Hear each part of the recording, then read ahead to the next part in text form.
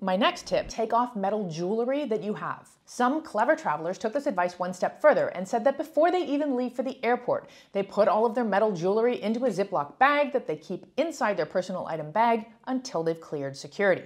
This also goes for clothing with metal embellishments. If you can avoid wearing clothing with metal buttons or rivets, etc., then you'll reduce the chances that you'll be pulled aside for an additional pat down or the metal detector wand.